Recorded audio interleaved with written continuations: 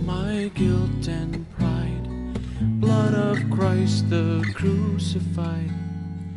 From your hands, your feet, your side. Jesus, I trust in you. Well, I want to talk to you about uh, repentance and spiritual warfare, uh, which is especially needed in these days. Um, I looked at a, a Bible code video, and I saw that Trump seems to win the presidency, but the code also says in the Matrix, quote, saints win, unquote. And then a little further down it has, um, quote, three years, unquote. And then it has a half year, unquote. So three and a half years. This all made me think of Pharaoh and Moses um, commanding in the name of the Lord Pharaoh to get God's people to set God's people free. It made me think of making spiritual warfare against the principalities and powers and rulers of this darkness, working through them to keep God's people in bondage. And then I got this word question from Eve on uh, the seventh. I asked Father for a word about what was on his heart to speak to me today and received Jeremiah 11 and 9. And I quote uh, 9 through 14. Jeremiah 11 and 9, And the Lord said unto me, A conspiracy is found among the men of Judah and among the inhabitants of Jerusalem. They are turned back to the iniquities of their forefathers, who refused to hear my words. Of course, this was Zedekiah, apostate Jerusalem, and his gang. That's the apostate leadership of Christianity out there. That's what this text represents. That's what the Lord showed us. And, and they are gone after other gods to serve them. The house of Israel and the house of Judah have broken my covenant which I made with their fathers.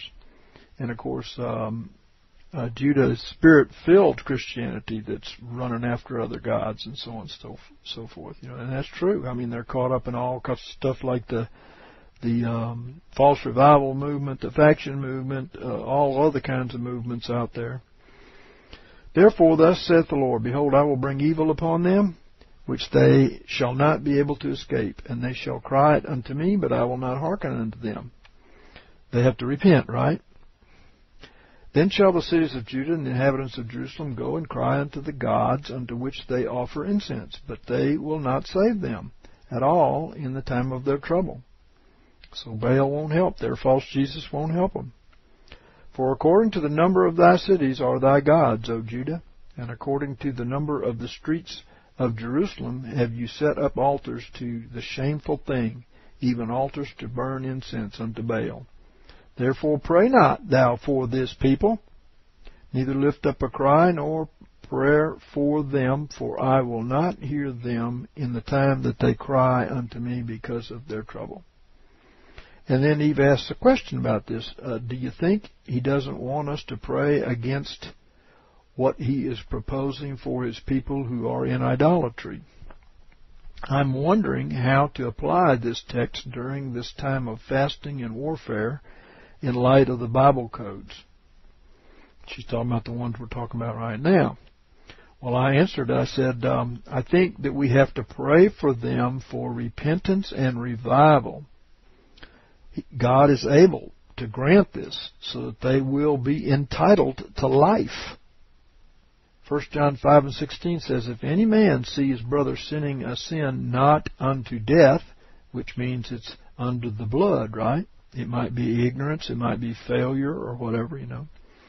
He shall ask of God, and he will give him life, life, for them that sin not unto death.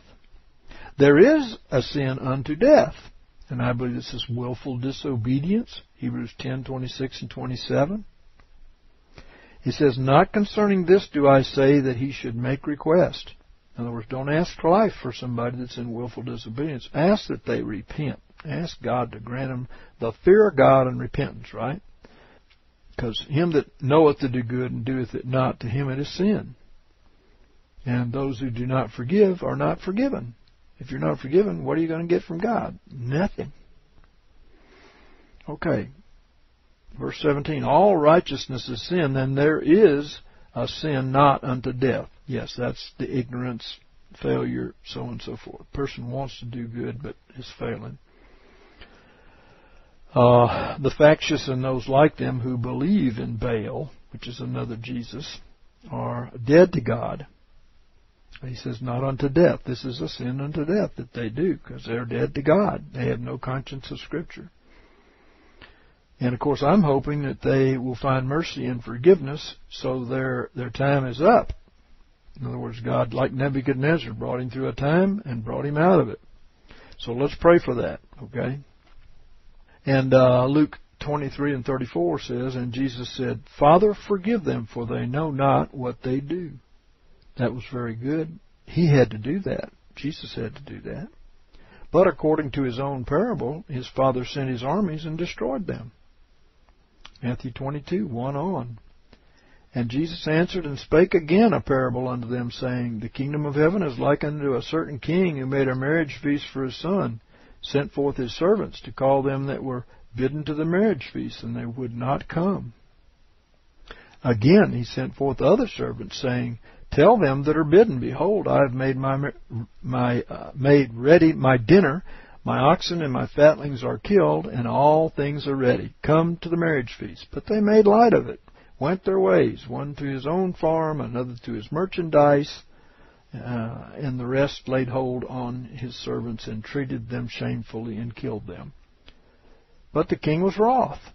He sent his armies and destroyed those murderers and burned their city. Okay, so you see there is precedent for what I'm saying here. We need to pray that God grant them repentance and the fear of the Lord. Uh, you can't say God give them life because they're not repented. Then we got this revelation. It's so interesting how we keep getting these revelations right on time with other things that all come together to, to make a wonderful teaching or revelation. And this was Sandy Shaw on the 4th of this month. We called it, What Are You Doing? in this dream, I'm in a huge old mansion. It must have been three or four stories high. And I believe, from looking at the whole context here, that this represents Christianity as it once was. Like First John, and of course there are people that are living that way. You know, First John two twenty four. As for you, let that abide in you which you heard from the beginning. If that which you heard from the beginning abide in you, you also shall abide in the Son and in the Father. And 1 John 2 6 says, He that saith he abideth in him ought himself also to walk even as he walked. So that's uh, that old time religion, right? Can't change it. Can't add to it, can't take away from it. That's what he said. So we got to go back to it.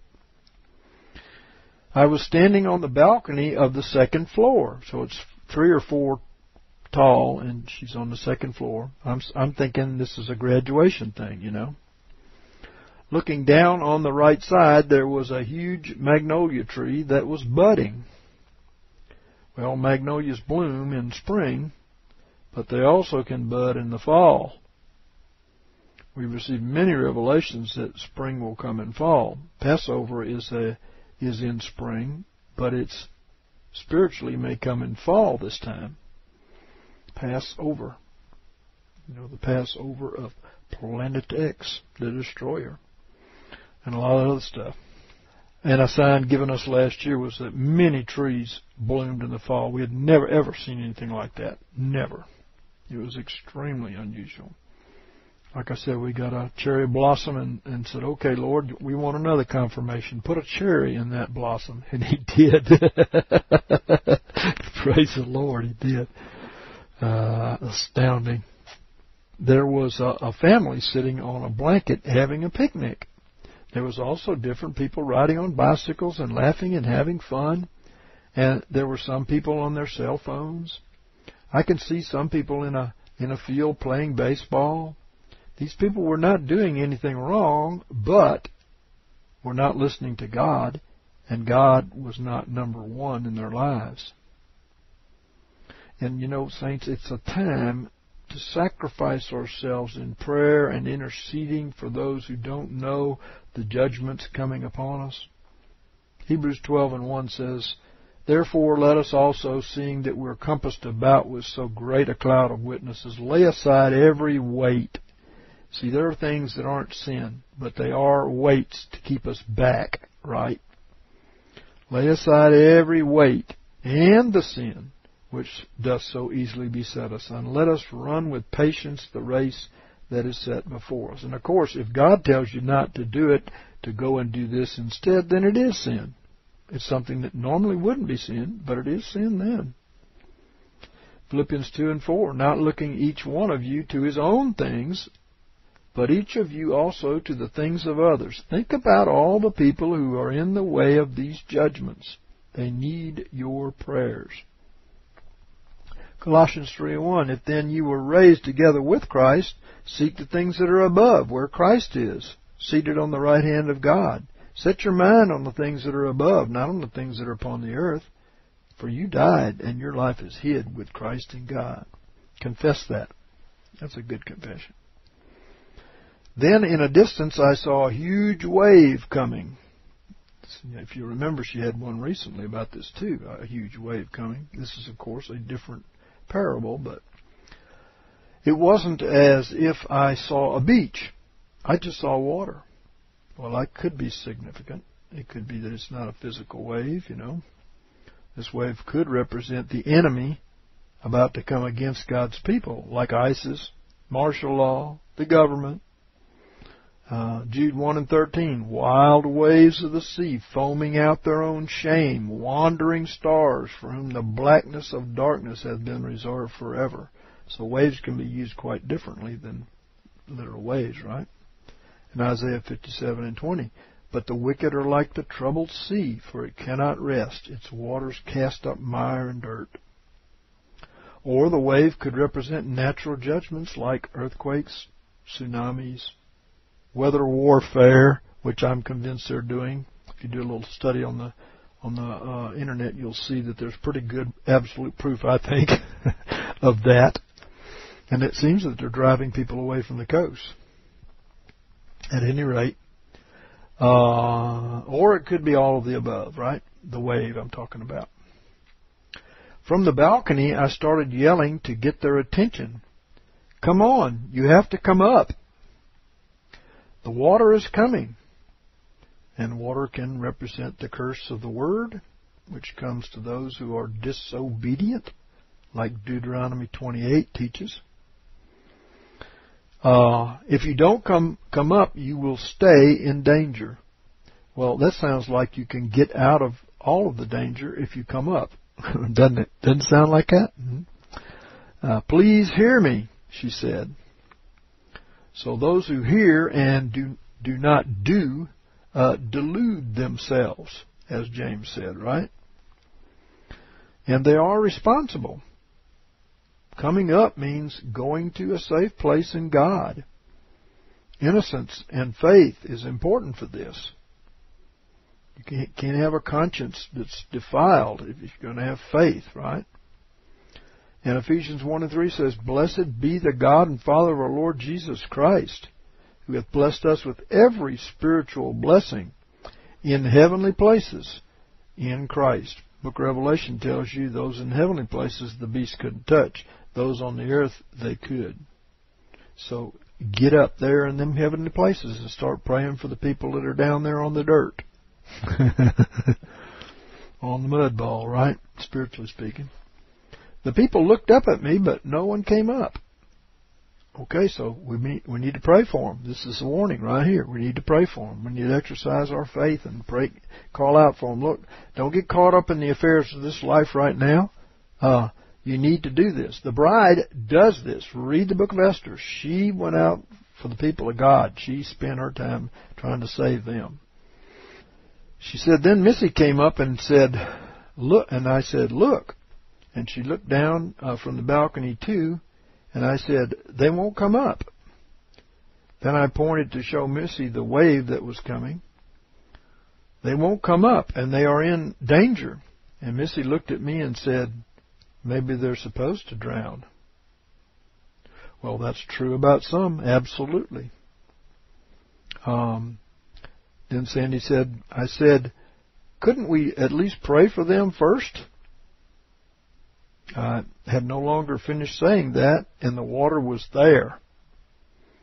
Uh, well, prayer and faith is, is how we can help most so that God uh, save whom He will, right? And if we don't do it now, trying to do it at the last minute won't work. Notice, it won't work. The wave was there. Waited too long. Please don't do that. I saw a newborn and or newborn and six month old babies on top of the wave. I believe babies represent the weak, innocent, and humble of God's people. I said, Come on, Missy, let's grab the babies. And between the two of us, we grabbed them all in two armfuls. And of course, this is what we can do by faith in prayer. We can save people by doing that because God says He'll answer our prayers. He gave us authority against the principalities and powers. And He said He would hear our prayers. So let's pray. If you're a believer, you certainly know that God answers prayer. The wave came up to the top of the railing, but it came no further. We only felt a mist from the water, and then I woke up. So if you're up there, you're safe. Well, this dream made me ask a question. Was I too busy doing my own thing and not hearing from the Lord? A good idea does not necessarily mean it is God's plan. Uh, agreed, people are just all the time doing good ideas, but it has nothing to do with what the Lord wants you to do right now. Mm-hmm. And this is a good question for everybody right now to ask themselves, you know. Because many are in danger. And she gives the verse Isaiah 55 and 6 Seek ye the Lord while he may be found. Call ye upon him while he is near. Oh, yes. Let the wicked forsake his way, and the unrighteous man his thoughts, and let him return unto the Lord, and he will have mercy upon him, because if you don't, you might miss out. If you don't pray for these people, you might miss out. I'm going to share this parable with you that tells says exactly that. And to our God, for he will abundantly pardon. For my thoughts are not your thoughts, neither are my ways your my uh, your ways my ways, says the Lord. Saving the babies. Notice the the others didn't pay any attention, the grown-ups. But saving the babies represents the weak, the innocent, the ignorant, and the humble of God's people, I believe. And when we know what is coming, why would we not act as Mordecai and Esther did? Because they knew what was coming. Esther 3 and 8. And Haman said unto King Ahasuerus, There is a certain people scattered abroad and dispersed among the peoples in all the provinces of thy kingdom, and their laws are different from those of every people. Well, that's true. Our, our laws are. Neither keep they the king's laws, and that's true quite a bit too. Therefore, it is not for the king's profit to suffer them. If it please the king, let me let it be written that they be destroyed, and I will pay ten thousand talents of silver into the hands of those who have the charge of the king's business, to bring it into the king's treasuries.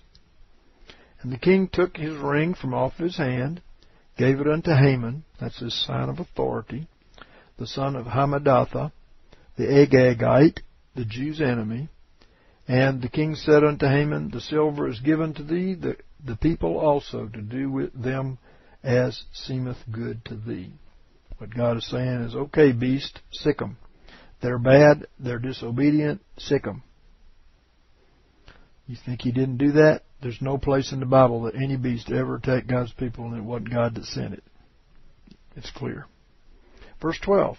Then were the king's scribes called in in the first month, in the thirteenth day thereof, and there was written according to all that Haman commanded unto the king's satraps and to the governors um, that were in every province, and to the princes of every people, to every province according to the writing thereof, and to every people after their language. In the name of King Ahasuerus was it written, and it was sealed with the king's ring. In other words, he had authority to do that. And letters were sent by posts unto all the king's provinces to destroy, to slay, and to cause to perish all Jews, both young and old, little children and women, in one day, even upon the thirteenth day of the twelfth month, which is the month Adar, and to take the spoil of them for a prey. Now I'm sure there's people out there saying, "Oh, they ain't planning to do that." You don't know. They are planning to do that. The Lord has spoken to us in dreams and visions about it, and the proof has been found. ISIS was created for that purpose, and they've been brought into the country for that purpose. In so many different ways, they've been brought into the country across the border illegally. They make the border guards stand down. Won't, they won't let them stop them. They're just flooding in over the border, come in on UPS planes from overseas. They come across the border in white, whited out uh, Homeland Security buses. They bring them in any way they can get them in here. Yes, they're getting ready. And there are a lot of young men of military age. And as you remember, they were running around the country getting uh, bomb making materials the last time, and then they quit advertising that anymore. Getting propane canisters and cell phones and all that kind of stuff. Yeah. Verse 14 A copy of the writing that the decree should be given out in every province was published unto all the peoples, that they should be ready against that day. The post went forth in haste by the king, king's commandment, and the decree was given out in Shushan the palace. And the king and Haman sat down to drink, but the city of Shushan was perplexed. yeah, I can imagine. And on down four and one. Now when Mordecai knew all, all that was done, Mordecai rent his clothes and put on sackcloth with ashes, and went out into the midst of the city and cried with a loud and a bitter cry. Amen. So, why should we be any different? We are in the same situation here, you know. And he came even before the king's gate, for none might enter within the king's gate clothed with sackcloth. And in every province whither the king's commandment and his decree came, there was great mourning among the Jews, and fasting, and weeping, and wailing. Well, there it is. Somebody's got to do it. And many lay in sackcloth and ashes. And Esther's maidens and her chamberlains came and told it her. Uh, and the queen was exceedingly grieved. And she sent raiment to clothe Mordecai and to take his sackcloth off of him, but he received it not. And then called Esther for Hathach, one of the king's chamberlains, whom he had appointed to attend upon her, and charged him to go to Mordecai to know what this was and why it was. So Hathach went forth to Mordecai unto the broad place of the city, which was before the king's gate.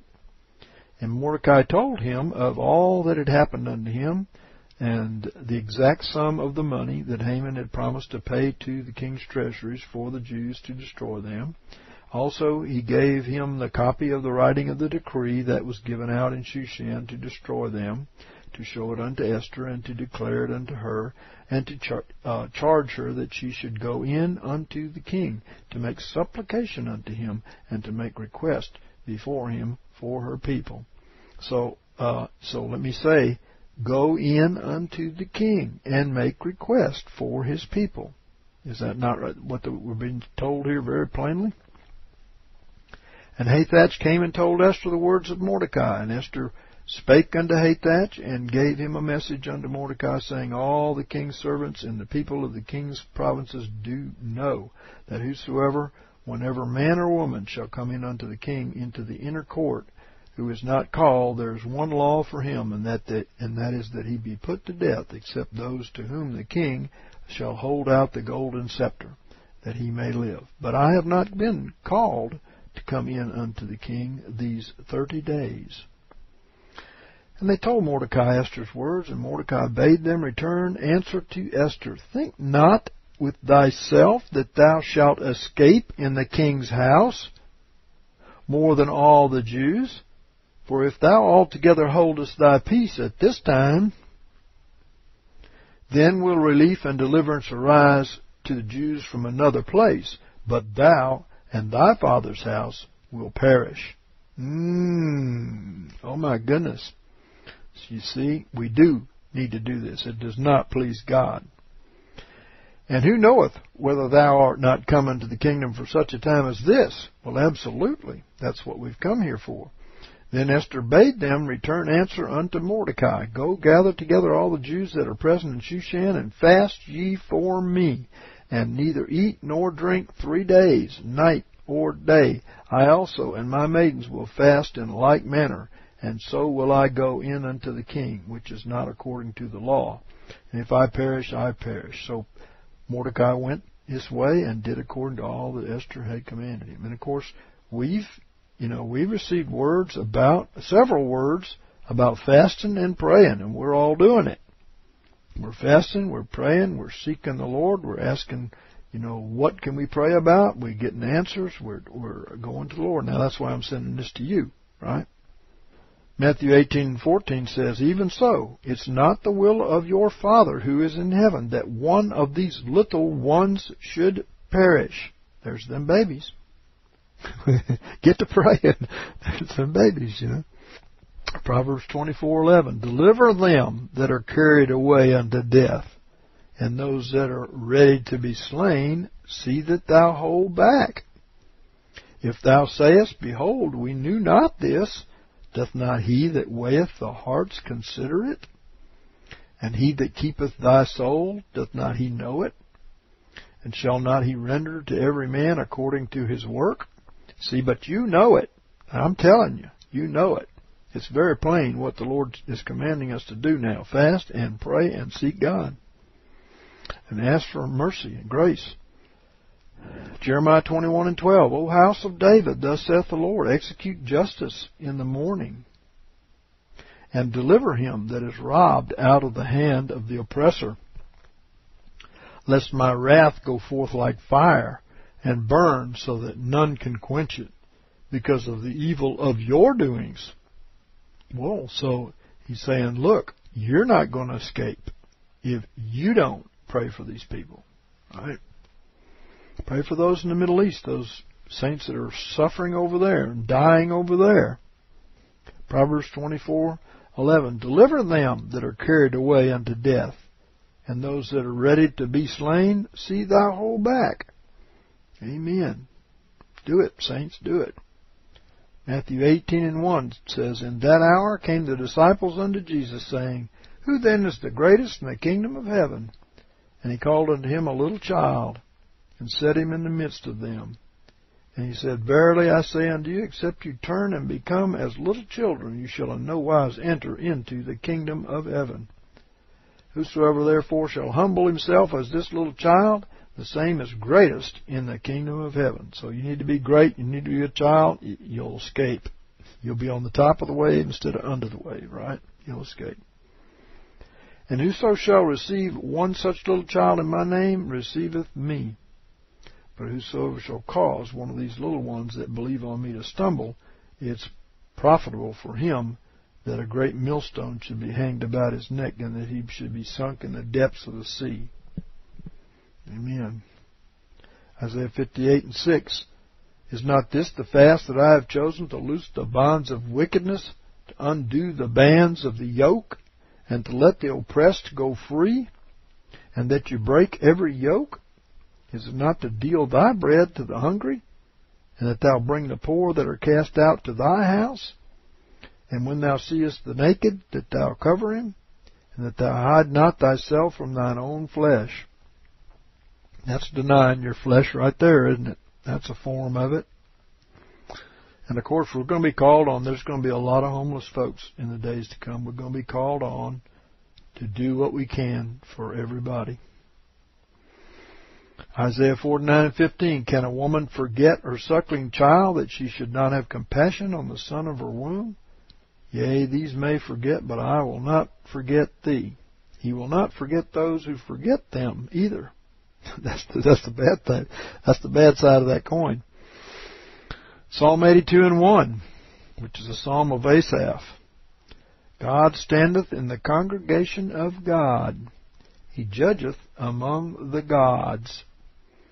How long? He's talking about the junior gods there. How long will you judge unjustly and respect the persons of the wicked? Judge the poor and the fatherless. Here we get into the weak and the helpless and so on for. Do justice to the afflicted and destitute. Rescue the poor and needy. Deliver them out of the hand of the wicked.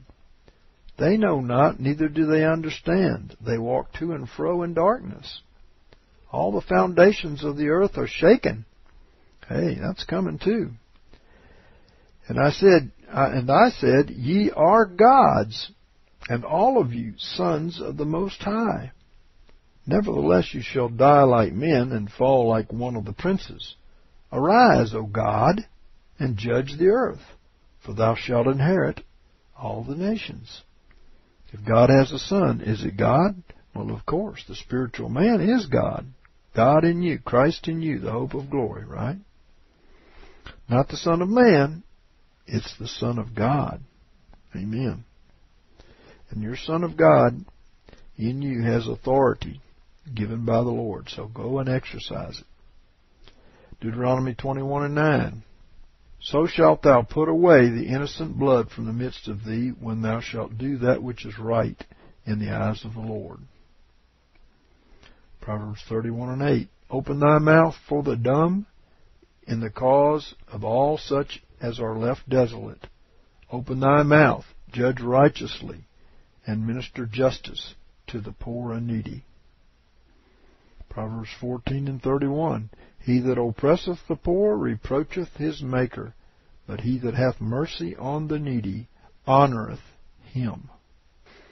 Isaiah 1 and 17. Learn to do well, seek justice, relieve the oppressed, judge the fatherless, plead for the widow. Deuteronomy 14:29.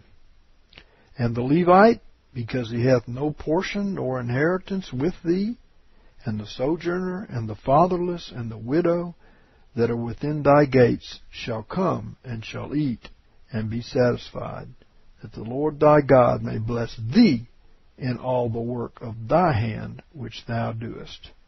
Ooh. Acts 20 and 35.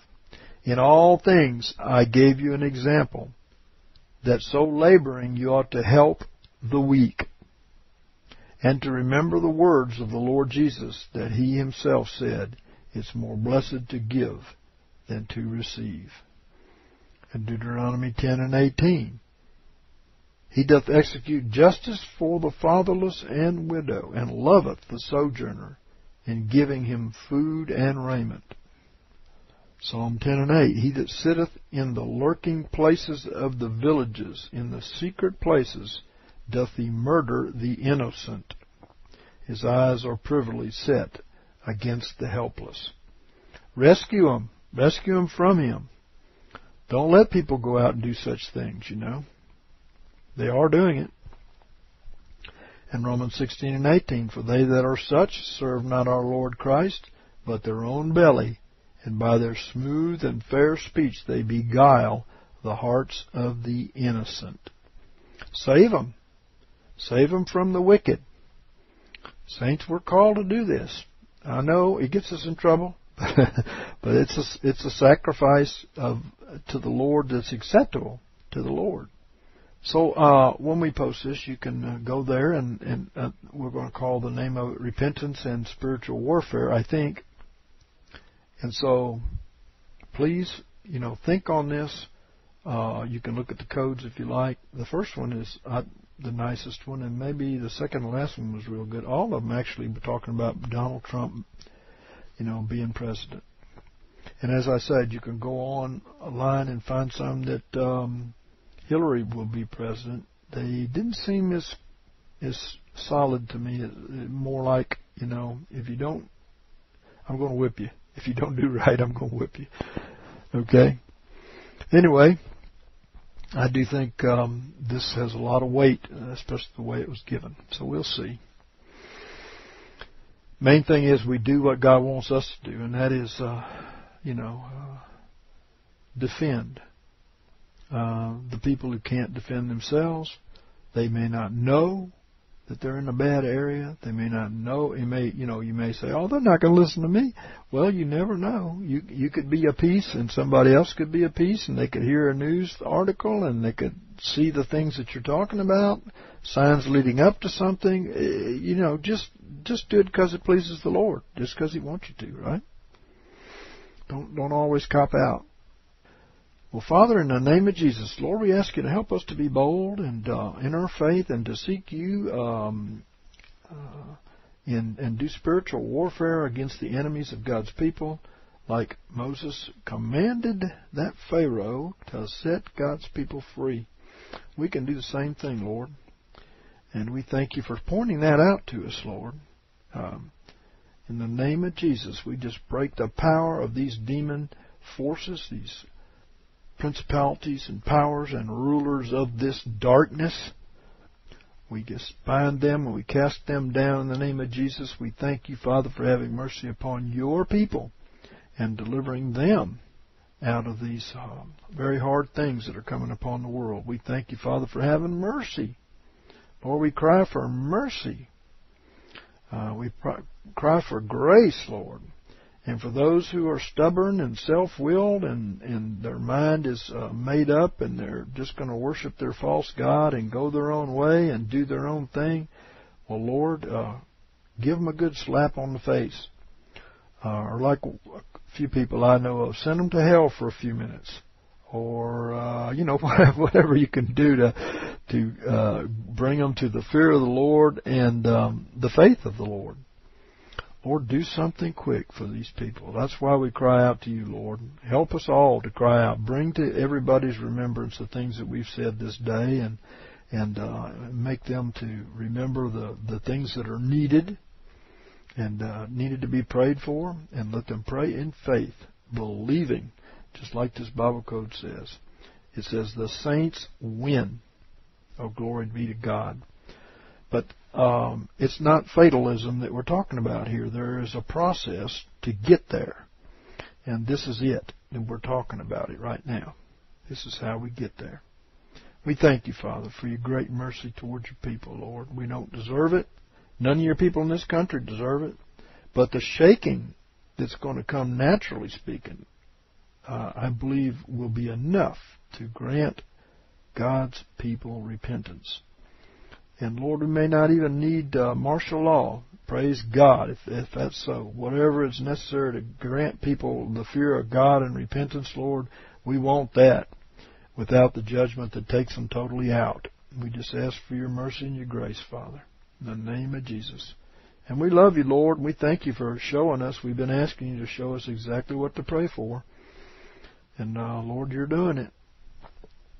We thank you so much for your, your mercy. And Father, um, Lord, help us to make time. Help us not to get distracted with things that have no eternal value. They don't even compare to the death of a soul or the death of someone who, who won't have time to grow up because they're taken out. Lord, uh, Lord, let us put first your kingdom and your righteousness so that all these other things will be added unto us, Lord. Let us learn to walk by faith. Yes, we can do this. We can uh, lay aside all the things that we want to do for a short period of time now, especially, and uh, seek you. Seek first your kingdom and and seek you for the people's sake. You will hear our prayers, Lord. You want everything that you do. Uh, you you do it through our prayers. And um, you said we have not because we ask not. So, Lord, we're going to ask. We're going to ask for your great mercy. We're going to ask that you do abundantly above all we can ask or think, Lord. And uh, we're going to ask you to do all these things to preserve your people. And I'm sure we're going to be satisfied. I know I know that there'll be a lot of grief because of the people who die and the people who are taken out and destroyed and all these things. But Lord, also there's going to be a lot of joy among your people that you have answered prayer and you have delivered people out of the teeth of these sharks. And uh, we thank you for it, Lord, in Jesus' name. Amen. All right, saints. May God bless you. Thank you for joining us today. Keep me in your prayers. Good night. Can quench my thirsting soul? Purest water, make me whole. Let your streams of mercy flow. Oh, Jesus, I trust in you.